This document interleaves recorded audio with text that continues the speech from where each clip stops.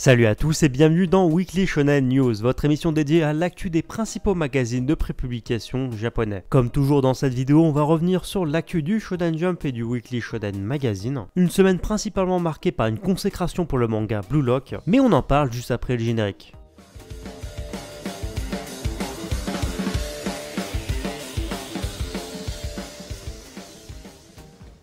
Avant de débuter l'émission, comme d'habitude, si vous aimez ce genre de concept, je ne peux que vous inviter à lâcher les pouces bleus. Plus il y a de pouces bleus, plus la vidéo sera mise en avant sur YouTube. Donc un grand merci à vous. Si ce n'est pas encore fait ou que vous n'avez pas encore franchi le pas, je vous invite également à vous abonner à la chaîne. C'est totalement gratuit vous pourrez suivre toute l'actu manga sur YouTube. Et je rappelle que je suis également disponible sur Twitter et Instagram. Les liens sont à l'écran et en description. On entame donc l'émission avec l'actu manga concernant le Shonen Jump. Dans un premier temps, le manga Mission Yosako la Family obtiendra le combo couverture et lead dans le Shonen Jump numéro 25. Et ce jour-là sera marqué d'une pierre blanche, parce que ça sera la première fois depuis le lancement du manga dans le Jump que le manga bénéficiera de nouveau de la couverture du magazine. Le tout accompagné par un chapitre de 34 pages. Les pages couleurs du numéro seront remises quant à elles aux séries suivantes, Mion Roboko, Witch Watch et un nouveau one-shot du nom de Bat Tripper. La nouveauté Candy Fleury bénéficiera d'un chapitre de 23 pages, Black Clover fera son comeback dans le numéro, tandis que One Piece sera quant à lui en pause. Le manga Kenshin le Vagabond va voir au Japon le 2 juillet 2021 le droit à un tout nouveau roman du nom de Kenshin le Vagabond Kamiya Dojo Monogatari. Ce roman sera écrit par Nobuhiro Watsuki, auteur original du manga, et Kaoru Kurosaki. Et enfin pour terminer, Spy Family va être décliné en roman. Son roman sera intitulé Spy Family Family Portrait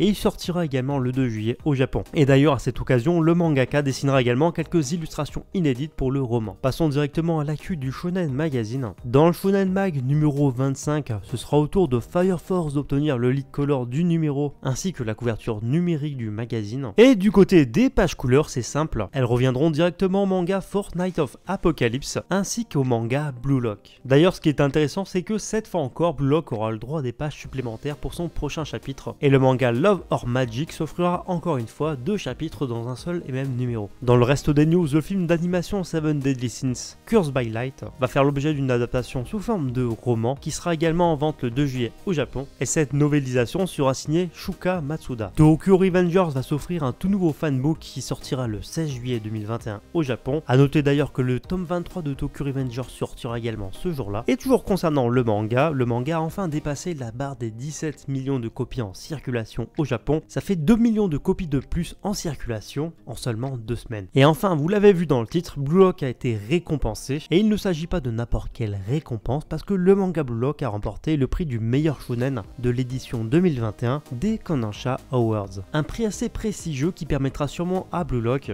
de gagner en popularité et de se faire connaître auprès du public japonais. On termine l'actu manga avec le Shonen Sunday. Dans le Shonen Sunday numéro 25, on retrouvera le manga Arata Kangatari qui fera son grand retour dans le magazine, accompagné par des pages couleurs pour la série Kimiwa 008. On passe cette fois à l'actualité concernant l'animation japonaise. La seule news que je vais vous partager cette semaine concerne le Shonen Jump, et il faut simplement savoir que l'intégralité de la série d'animation Yu Yu Hakusho, une des premières œuvres de Yoshiro Togashi, l'auteur de Hunter x Hunter, débarquera à partir du 1er juillet 2021 sur la plateforme Netflix. L'occasion rêvée pour découvrir ou redécouvrir ce titre, qui je le rappelle un classique du genre. Et avant de conclure l'émission, on passe donc aux couvertures de la semaine. La couverture du dernier numéro du Shonen Jump était occupée cette fois par The Elusive Samurai, une couverture absolument magnifique qui, je le rappelle, est signée par l'auteur de Assassination Classroom. Et concernant le concurrent du magazine, le Shonen Mag, la couverture était occupée cette fois par SN no Lovelock, Lovelock of Majestic War de son nom international, qui est tout simplement le tout nouveau manga super-héroïque du magazine. Signé Tatsuya Shira, auteur de Q, ce manga a l'air d'avoir un univers graphique absolument incroyable. Enfin bref, en tout cas voilà pour l'actu de la semaine. Comme toujours, j'espère vraiment que ce nouveau numéro vous a plu. Comme d'habitude, n'hésitez pas à me donner votre avis sur l'actu de la semaine en commentaire. Qu'est-ce qui a retenu votre